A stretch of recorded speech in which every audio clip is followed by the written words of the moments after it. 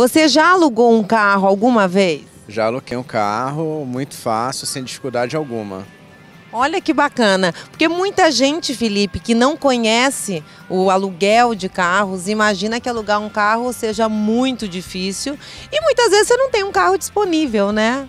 Chega a ser tão fácil como locar uma fita na locadora, não existe mais, é muito simples o processo. Pode ser até em cima da hora, né?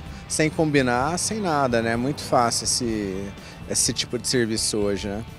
Quer dizer que você pode chegar e imediatamente, sem burocracia, alugar e levar o carro imediatamente? Em qualquer lugar do Brasil e você pode devolver em outra região se for o caso. Então é muito prático isso, principalmente para quem viaja.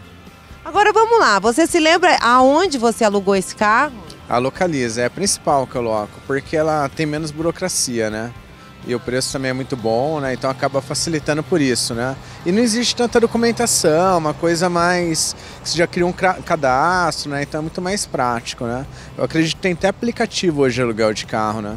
Olha que legal. Então quer dizer, tanta gente às vezes sofre porque não tem um carro disponível naquele momento em casa ou vai viajar, chega na outra cidade. A gente está aqui com o Felipe trazendo para a gente essa experiência que é super importante, porque hoje em dia, num mundo tão prático, a gente tem possibilidade de viver de uma maneira mais simples e fácil. Sem dúvida, com certeza.